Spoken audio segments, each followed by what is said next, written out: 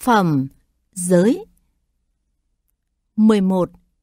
Chuyện con nai điềm lành Tiền thân Lakhana Con người có giới hạnh, vân vân.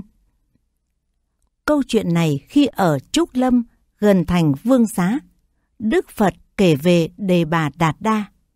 Câu chuyện về Đề Bà Đạt Đa sẽ được kể cho đến khi làm tướng cướp trong tiền thân Khanda Hala, số 533, cho đến khi bị đuổi đi khỏi chức vụ người giữ kho bạc trong tiền thân Chula Pantaka, số 533, cho đến khi bị quả đất nuốt sống trong chương thứ 16 ở tiền thân Samudra Vanija, số 466. Một thời, Đề Bà Đạt Đa yêu cầu 5 điều kiện – nhưng không được, bèn phá hòa hợp tăng. Đem theo 500 tỷ kheo đến ở tại Gaza Sisa. Rồi khi trí của những tỷ kheo ấy được thuần thục. Biết vậy, bậc đạo sư bảo hai đệ tử đầu tay.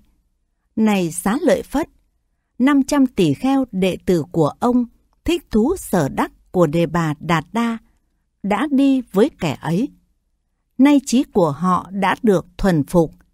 Ông hãy đi đến đấy với nhiều tỷ kheo, thuyết pháp cho họ, làm họ giác ngộ về đạo và quả, và đưa họ về.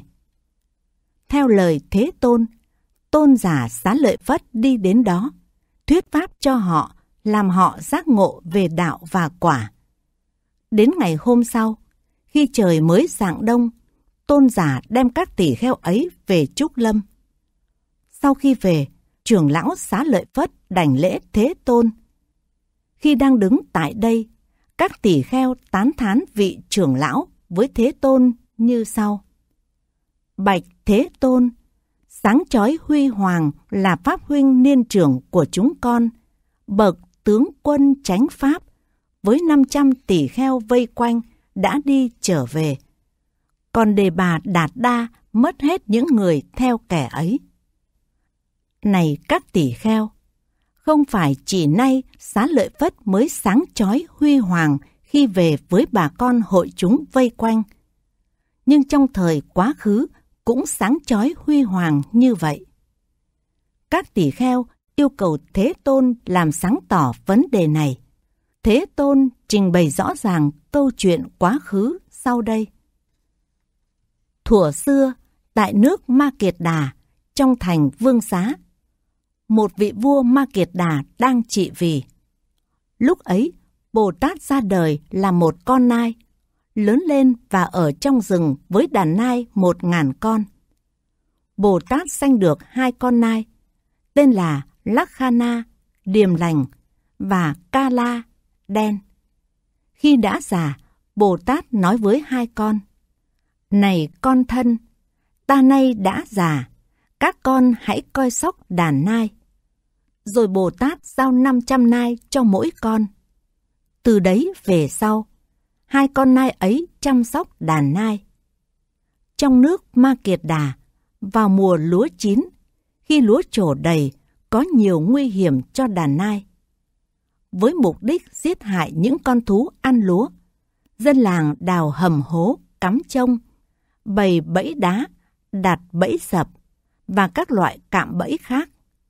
Nhiều con nai bị nạn phải chết. Bồ Tát biết là thời lúa chín trổ đầy, cho gọi hai con lại và nói, Này con thân, nay là thời lúa chín trổ đầy, nhiều con nai đã gặp nạn. Ta nay đã già, sẽ dùng bất cứ phương tiện nào để ở lại một chỗ. Còn các con, hãy đem đàn nai của các con ẩn vào những con đường núi đá trong rừng. Đợi khi lúa gặt hái xong, sẽ trở về lại. Chúng vâng theo lời dạy của cha, ra đi với đàn nai tùy tùng. Dân làng biết được con đường của chúng đi. Trong thời này, các con nai leo núi. Trong thời này, chúng xuống núi. Nên họ ẩn núp tại các chỗ kín đây đó dọc đường, để bắn và giết chúng vô số.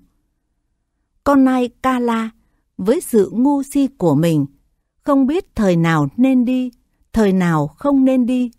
Cứ đem đàn nai đi sáng, chiều, khi chạng vạng, khi dạng đông, ngang qua cửa làng. Và các nông dân hoặc lộ liễu hoặc ẩn núp chỗ này chỗ kia giết chúng, khiến nhiều con nai gặp nạn. Như vậy, với sự ngu si của mình, Nai Kala làm cho nhiều con nai gặp nạn. Số còn lại đi vào rừng với nó rất ít. Còn Nai Lakhana nhờ có trí, thông minh, thiện xảo, biết thời nào nên đi, thời nào không nên đi. Nó không đi ngang qua cửa làng, không đi ban ngày, không đi lúc hoàng hôn, khi dạng đông, mà chỉ đem đàn nai đi vào lúc nửa đêm. Do vậy, không một con nai nào gặp nạn, và chúng cùng nó đi vào rừng. Chúng sống bốn tháng tại đây, khi lúa đã được gặt hái mới xuống núi. Kala trên đường về lặp lại hành động ngu si trước, khiến những con nai còn lại gặp nạn. Một lần nữa, chỉ có một mình nó trở về. Con nai Lakhana không làm một nai nào bị nạn, cùng với 500 nai vây quanh đi về với cha mẹ. Khi Bồ Tát thấy hai con đi về, nghĩ về đàn nai, liền nói lên bài kệ này. Con người có giới hạnh, được phần thưởng đón mừng. Xem Lakana về, cầm đầu chúng bà con. Hãy xem Kala này với bà con hủy diệt. Như vậy, Bồ Tát đón mừng nai con, sống tại đấy cho hết tuổi thọ, rồi đi theo nghiệp của mình. Bậc đạo sư nói, xá lợi phất không phải chỉ hôm nay mới được trói sáng với bà con vây quanh, mà trước kia cũng đã trói sáng như vậy. Còn đề bà Đạt Đa không phải chỉ hôm nay mới làm cho quyến thuộc bị hủy diệt, mà trước kia cũng như vậy. Sau khi thuyết pháp thoại này xong, so sánh hai câu chuyện và kết hợp chúng với nhau, Ngài kết luận với sự nhận diện tiền thân như sau. Thời ấy, con nai Kala là đề bà Đạt Đa. Đoàn tùy tùng của nó là đàn tùy tùng của đề bà Đạt Đa. Con nai Lakhana là xá lợi phất. Nai mẹ là mẹ của Rahula, La Hầu La. Và nai cha là ta vậy.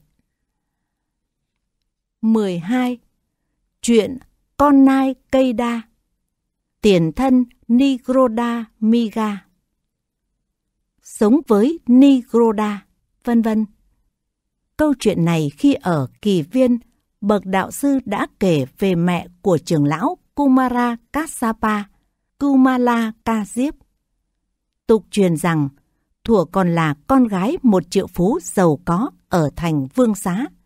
Nàng đầy thiện căn để chấm dứt các hành, sống đời cuối cùng như cây đèn trong ghè. Nội tâm nàng sáng chói niềm hy vọng chứng quả A-la-hán. Từ khi hiểu biết về mình, nàng không vui trong đời sống gia đình và muốn xuất gia. Nàng thưa với cha mẹ. Thưa cha mẹ thân, tâm con không vui với đời sống gia đình. Con muốn xuất gia trong giáo pháp giải thoát của Đức Phật hãy cho phép con xuất gia. Này con, con nói gì vậy? Gia đình này rất giàu có. Con là con gái độc nhất của chúng ta. Con không được xuất gia. Nàng tiếp tục xin, không được cha mẹ cho xuất gia. Nàng nghĩ, thôi hãy chấp nhận là vậy. Khi nào về nhà chồng, được chồng bằng lòng, ta sẽ xuất gia. Nàng lớn lên đi về nhà chồng, trở thành người vợ trung thành, sống trong gia đình có giới hạnh và theo thiện pháp. Khi nàng sống trong gia đình, nàng thụ thai, nhưng không biết mình đã thụ thai. Một ngày hội lớn được tuyên bố trong thành ấy, và mọi người trong thành phố vui chơi hội lớn. Thành phố được trang hoàng như thành phố chư thiên nhưng trong khi lễ hội lớn đạt đến cao độ, nàng vẫn không thoa phấn son, không đeo đồ trang sức, ăn mặc như ngày thường. Chồng nàng nói với nàng, Này hiền thê, toàn thành phố vui chơi hội lớn, còn em thì không săn sóc gì cho thân mình. Thưa hiền phu, thân này của em đầy 32 bộ phận của thân xác. Trang điểm thân này làm gì? Thân này không do chư thiên hóa xanh, không do phạm thiên hóa xanh, không làm bằng vàng, không làm bằng châu báu, không làm bằng gỗ trên đàn vàng, không xanh từ đài sen trắng, sen hồng hay sen xanh, không đựng đầy thuốc trường xanh. Thân này uế nhiễm do cha mẹ xanh, bị vô thường hủy diệt, băng hoại tan nát, làm nghĩa trang tăng trưởng, bị ai chấp thủ là nhân của sầu ưu, là căn cứ địa của than khóc, là kho tàng của mọi bệnh tật, là chỗ dung nạp của nghiệp lực. Nội bộ ô uế, ngoại bộ thường bài tiết. Thật vậy, như toàn thế giới có thể thấy cứu cánh của nó là chết, đi đến nghĩa địa, là chỗ tụ hội các côn trùng. Và nàng nói lên lời cảm thán. Ràng buộc bởi gân xương, dính lại với da thịt. Thân bị da bao trùm, không thấy được như thật. Kính thưa hiền phu, em trang điểm thân này làm gì? Có phải chăng trang điểm thân này chẳng khác gì trang điểm bề ngoài một cái bình đựng đầy phân? Người triệu phú nghe nàng nói như vậy, bèn hỏi. Nếu hiền thê thấy thân này tội lỗi như vậy, sao hiền thê không xuất ra? Thưa hiền phu, nếu em được phép xuất ra, em sẽ xuất ra ngay hôm nay. Nói xong, sau khi tổ chức bố thí lớn và tỏ lòng hết sức kính trọng giáo hội, người triệu phú cùng với một số tùy tùng lớn đưa nàng xuất ra. Và nàng được xuất ra với chúng tỷ kheo ni thuộc phái đề bà Đạt Đa. Sau khi xuất ra, nàng sống hoan hỉ với tâm tư viên mãn. Khi cái thai của nàng đã thuần thục, các tỷ kheo ni nhận thấy các căn của nàng đổi khác.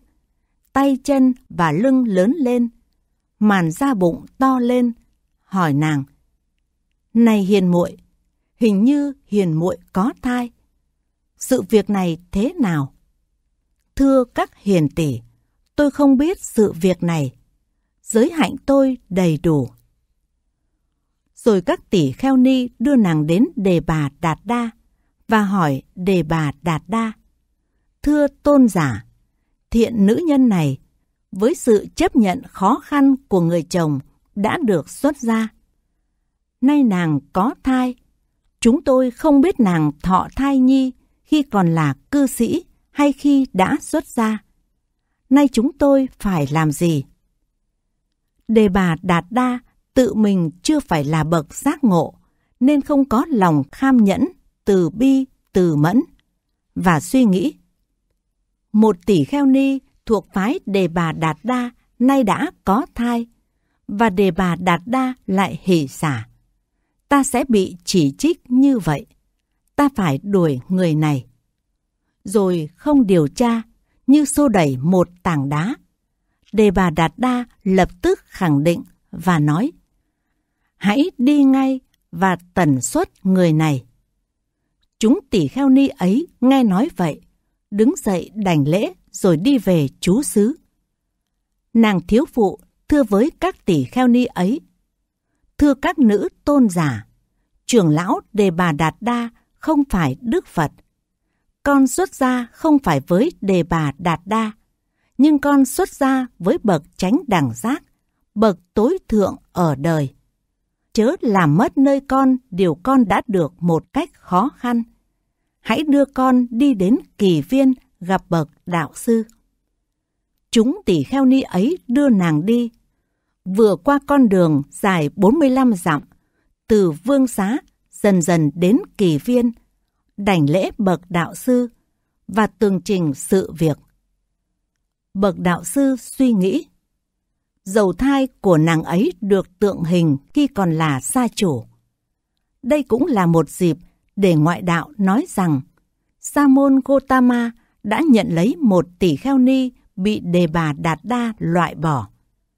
Để chấm dứt câu chuyện, vấn đề này cần được giải quyết trước mặt vua và tùy tùng của vua. Ngày hôm sau, Thế Tôn cho mời vua Pasenadi, Ba Tư Nạc, nước Kosala. Ông cấp cô độc lớn, cấp cô độc nhỏ, nữ cư sĩ Visakha và các nhân vật có tiếng khác. Rồi vào buổi chiều, giữa bốn chúng đã đều tụ họp. Thế Tôn bảo trưởng lão Upali, hãy đi làm cho sáng tỏ sự việc của tỷ kheo ni trẻ này giữa bốn chúng. Thưa vâng, bạch Thế Tôn. Vị trưởng lão đi đến giữa hội chúng, ngồi trên chỗ đã soạn sẵn cho mình, cho gọi nữ cư sĩ Visakha trước mặt nhà vua và giao việc điều tra này. Hãy đi, này Visakha. Trước hết, hãy xác định ngày xuất gia, tháng xuất gia của người thiếu phụ này. Sau khi biết rõ rồi, hãy tìm hiểu nàng thụ thai trước đây hay sau thời gian ấy. Nữ cư sĩ chấp nhận lời dạy, cho treo một cái màn. Sau cái màn ấy, nữ cư sĩ quan sát tay, chân, lỗ rún, bụng, các phần thân khác của tỷ kheo ni trẻ. Sau khi tính ngày tháng, biết được nàng thụ thai trong thời kỳ còn là gia chủ. Nữ cư sĩ đi đến vị trưởng lão và báo cáo kết quả. Vị trưởng lão giữa bốn chúng tuyên bố tỷ kheo ni ấy là thanh tịnh. Bấy giờ, nàng được xác nhận là thanh tịnh, liền đến đảnh lễ chúng tỷ kheo và bậc đạo sư, rồi đi về trú xứ với các tỷ kheo ni. Khi bào thai đã thuần thục, nàng sanh được một bé trai có uy lực lớn. Do nàng cầu nguyện dưới chân Đức Phật Padu Muttara cách đây nhiều kiếp. Nhà vua một hôm đi đến gần trú xứ của tỷ kheo ni, nghe tiếng của đứa trẻ và hỏi các đình thần. Các đình thần biết câu chuyện, thưa lại với vua. Tâu Đại Vương, vị tỷ kheo ni trẻ ấy sanh được một đứa con trai. Đây là tiếng khóc của đứa trẻ. Này các khanh, nuôi con là một chướng ngại cho các tỷ kheo ni. Chúng ta sẽ nuôi dưỡng nó. Vua giao đứa trẻ cho các thiếu phụ bà con và bảo nuôi dưỡng nó lớn như một hoàng tử. Đến ngày đặt tên, nó được tên là Kassapa, nhưng được biệt danh là hoàng tử Kassapa vì được nuôi dưỡng như một hoàng tử. Khi lên 7 tuổi, các Sapa xuất gia với bậc đạo sư, và khi đầy đủ tuổi, được thọ đại giới. Thời gian đi qua, vị ấy trở thành một nhà thuyết pháp tài giỏi giữa các nhà thuyết pháp, rồi bậc đạo sư ấn chứng cho vị ấy. Này các tỷ kheo, vị này là đệ nhất trong các đệ tử thuyết pháp của ta, tức là Hoàng tử Kassapa. Hoàng tử Kassapa nhờ kinh Vamika, kinh Trung Bộ số 23, chứng quả A-la-hán. Tỷ kheo ni, mẹ vị ấy, nhờ phát triển thiền quán, chứng quả cao nhất. Trưởng lão Kumara Kassapa giữa giáo pháp Đức Phật sáng chói như mặt trăng rằm giữa hư không. Một hôm, sau buổi ăn, trên con đường đi khất thực trở về, Đức Như Lai khuyến giáo các tỷ kheo xong đi vào hương phòng.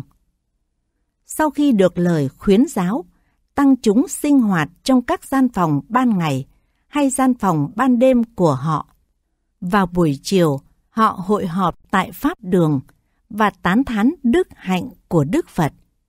Này các hiền giả, đề bà Đạt Đa, tự mình không phải là Phật, lại không có kham nhẫn, lòng từ bi, lòng từ mẫn, đã khiến cho trưởng lão Kumara Kassapa và trưởng lão Ni gần bị hại. Nhưng bậc tránh đẳng giác, tự mình là bậc Pháp Vương, lại thành tựu kham nhẫn, lòng từ bi, lòng từ mẫn, đã trở thành chỗ nương tựa cho hai vị ấy. Bậc đạo sư với uy nghi của Đức Phật đi vào Pháp đường, ngồi xuống trên chỗ đã soạn sẵn và hỏi Này các tỷ kheo, các ông đang ngồi luận bàn chuyện gì? Các tỷ kheo thưa, Bạch Thế Tôn, chúng con bàn đến công đức của Thế Tôn. Này các tỷ kheo, không phải chỉ nay Như Lai mới trở thành chỗ nương tựa cho hai người ấy, nhưng trong quá khứ cũng vậy. Các tỷ kheo yêu cầu Thế Tôn làm sáng tỏ vấn đề này. Thế Tôn trình bày rõ ràng câu chuyện quá khứ. Thuở xưa, khi vua Brahmadatta trị vì ở Ba La Nại, Bồ Tát sanh làm một con nai. Khi từ bụng mẹ sanh ra, con nai có màu sắc vàng, mắt của nó giống như hòn châu báu, sừng màu trắng bạc, miệng đỏ như tấm màn nhung, móng chân láng trơn như màu sơn mài, đuôi giống như đuôi con trâu rừng, rác, thân to lớn bằng con ngé. Nó sống trong rừng, được vây quanh với 500 con nai và được gọi là nai chúa Nigroda, cây đa. Không xa bao nhiêu, có một con nai khác với 500 con nai tùy tùng và được gọi là nai Sakha, nhành. Nai này cũng màu sắc vàng. Lúc bấy giờ, vua Ba La Nại thường hay săn bắn nai. Không có thịt nai thì không ăn cơm. Hàng ngày, vua triệu tập dân thành, dân tỉnh lại. Đình chỉ công việc của mọi người vì vua thích đi săn bắn. Mọi người suy nghĩ, vua này đình chỉ công việc của chúng ta. Chúng ta hãy gieo bẫy mồi và đặt nước uống cho các con nai trong vườn, đuổi nhiều nai vào trong ấy, đóng cửa lại và bắt dẫn chúng đến vua. Như vậy, họ gieo cỏ làm bẫy mồi, đặt nước uống khắp vườn, cho sắp đặt cửa, đem theo những người trong thành, tay cầm côn, gậy và các loại binh khí khác, đi vào rừng tìm nai. Họ bao một vòng vây khoảng độ một dặm để bắt đàn nai bị vây ở giữa. Và như vậy, họ vây quanh chỗ ở của đàn nai Nigroda và đàn nai Sakha. Khi thấy đàn nai, họ bắt đầu lấy gậy đập cây, đập bụi, đập đất, đuổi đàn nai ra khỏi chỗ ở của chúng, khua động các loại vũ khí như gươm, giáo, cung, la hét và đuổi đàn nai vào rừng. Rồi họ đóng cửa lại, đi đến gặp vua và thưa.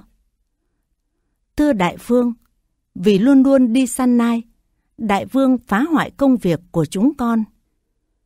Nay chúng con đã dẫn đàn nai rừng vào đầy cả vườn của đại vương.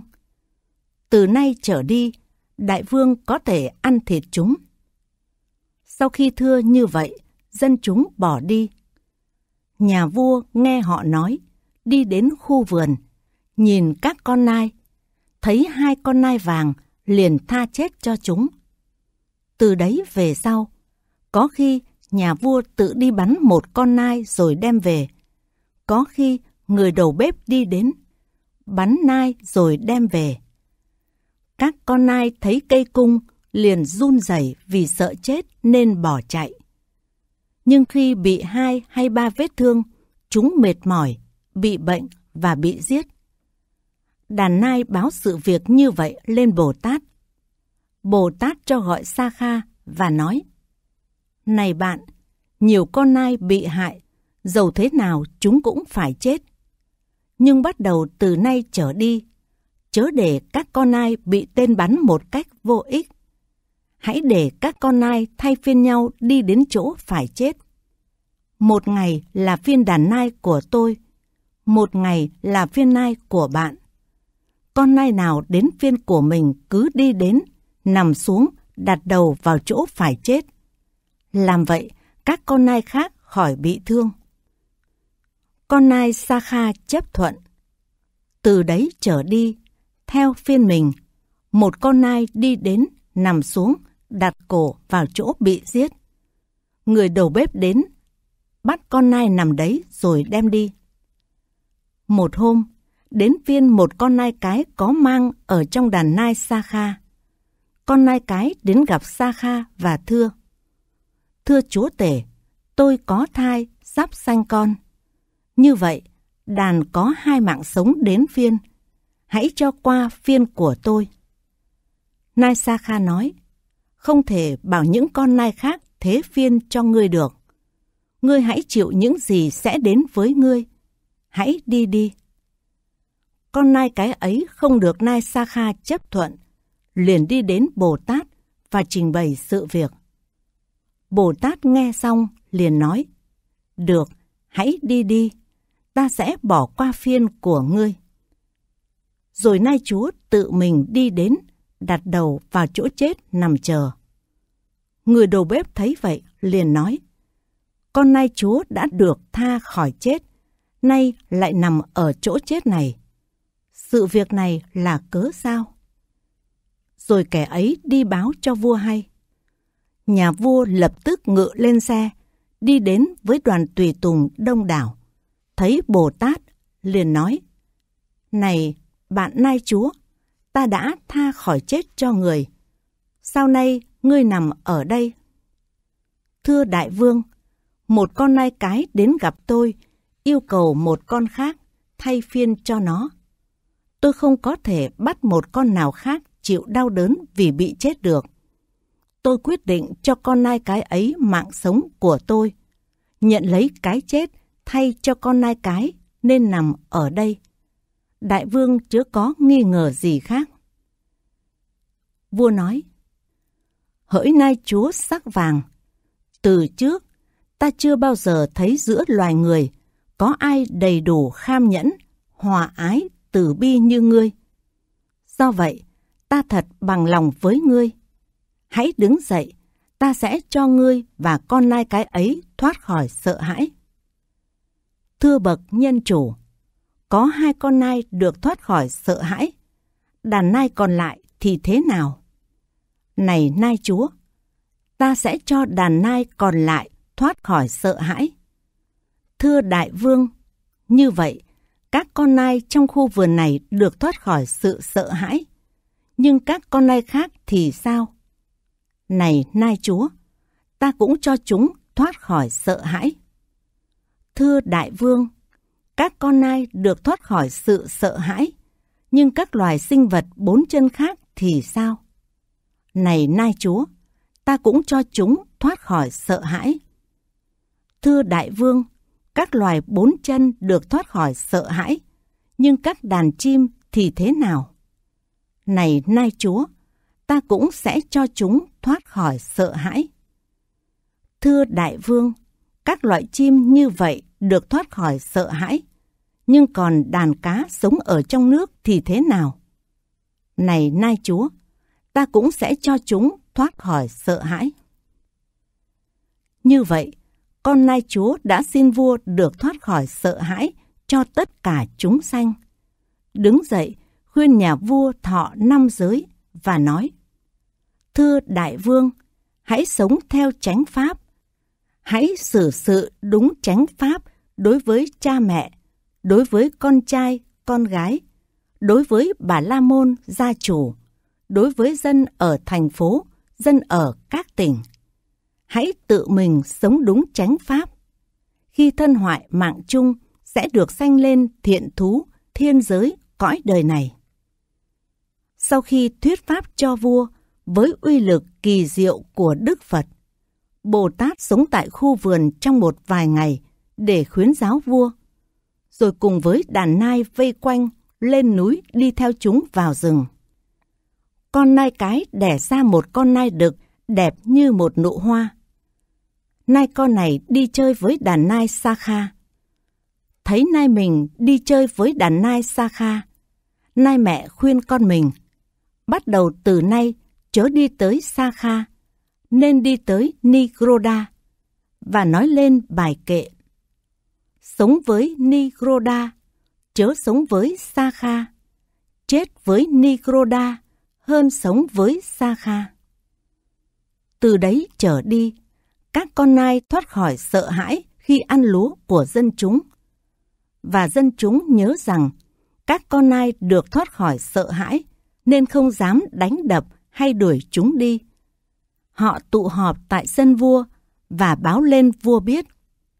Vua nói, do ta bằng lòng, ta đã cho nai Nigroda một đặc ân. Ta thà mất nước, chớ không bỏ lời đã hứa. Hãy đi đi, trong quốc độ của ta, không có nai nào bị đánh cả. Nai Nigroda nghe tin này, liền hợp đàn nai lại và bảo, bắt đầu từ nay, chớ ăn lúa của người khác. Sau khi bảo chúng hứa như vậy, Nai Nigroda báo tin cho dân chúng biết.